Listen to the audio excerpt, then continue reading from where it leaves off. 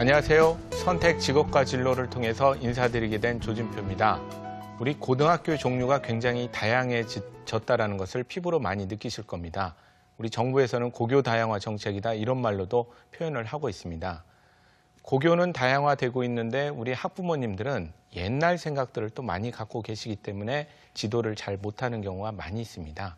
현재 고교 다양화에 있어서 옛날에 비해서 많은 종류의 고등학교들이 생기고 있기 때문에 그 고등학교를 반드시 정확하게 이해를 하고 정리를 해야만 올바른 진로 선택을 할 수 있는 것이 요즘의 현실입니다.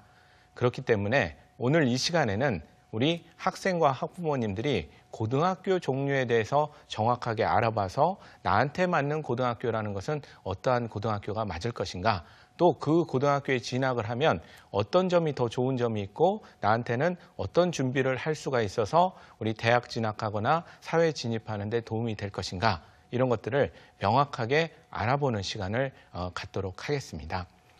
먼저 고등학교의 종류에 대해서 우리가 한번 알아보도록 하겠습니다. 우리 고등학교의 종류가 굉장히 다양해지고 있다가 법령적으로는 정비가 안 됐던 상황에서 우리 2010년 6월 달에 개정된 초중등교육법 시행령에 따라서 우리 어, 고등학교의 종류를 정리를 했습니다.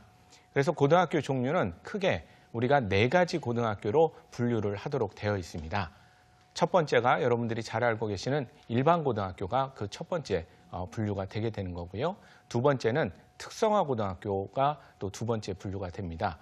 여러분들 특성화 고등학교 하면 좀 어색한 느낌이 드실 겁니다. 왜냐하면 중간에 한번 특성화 고등학교라는 이름으로 활성화됐었는데 그게 어, 예전에 실업계 고등학교, 그다음에 전문계 고등학교, 또 특성화 고등학교 이렇게 좀 변화가 많았던 고등학교가 특성화 고등학교이기 때문에 약간 어색한 면이 좀 있으실 텐데 어, 뒤에 자세히 설명드리겠지만 하나로 통일된 용어 특성화 고등학교로 사용을 하도록 되어 있습니다.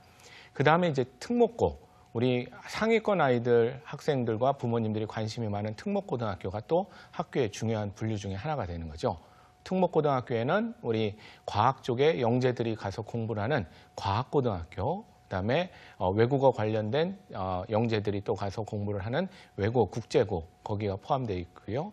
우리가 예술 계열의 고등학교 예고라고 하죠. 그다음에 체육 계열의 고등학교 최고 이런 것도 특목고로 분류가 되고 있습니다. 하나 특이한 것은 예전에는 우리가 전문계 고등학교로 어, 분류했고 우리 어머님 아버님 때는 실업계 고등학교로 분류했던 어, 마이스터 고등학교라는 것이 어, 이름이 마이스터 고등학교로 바뀌면서 특목고로 분류가 된다는 게 조금 부모님들이 알으셔야 되는 그런 상황이 되는 거죠.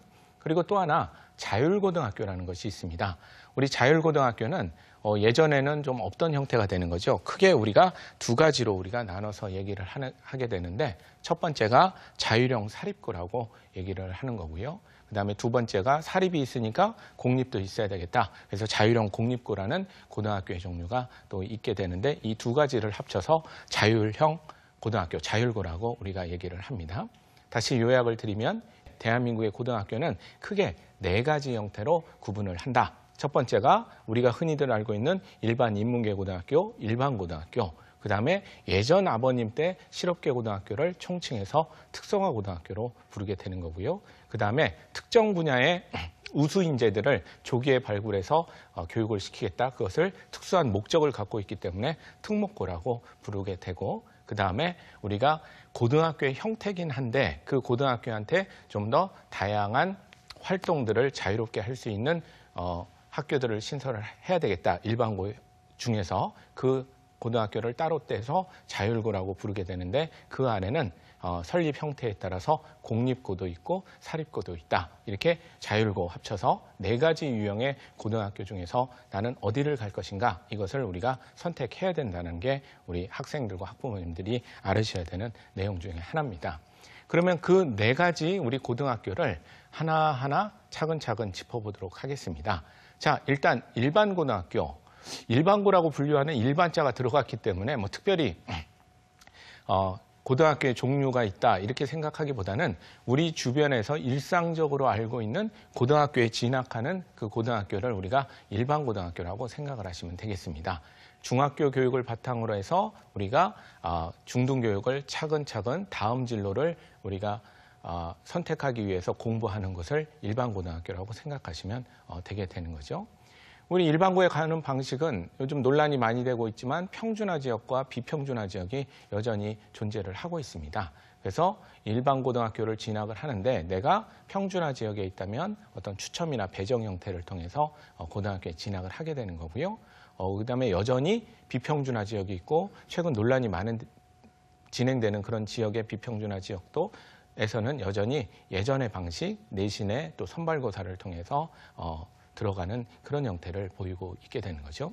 그럼 이 일반 고등학교에는 어떤 학생들이 진학을 하면 어, 좋을 것인가? 우리 여러분들이 잘 생각을 해보시면 아직 진로적으로 내가 목적이 뚜렷하게 생기지는 않았지만 그래도 공부 쪽에 약간 학문 쪽에 관련된 직업을 가고 싶은데 그게 방향성은 아직 어, 정확하게 잘 모르겠다. 그렇기 때문에 좀 더 가까운 인근 고등학교를 진학을 해서 내가 어느 방향으로 갈 것인지 진로 탐색을 더 해봐야 되겠다. 이런 생각을 가진 학생들이 진학을 많이 하게 되면 어, 유리한 그런 이제 학교 형태가 되게 되는 거죠. 그 다음으로 어, 얘기할 것이 많은 것이 좀 특성화 고등학교입니다. 이 특성화 고등학교는 원래 목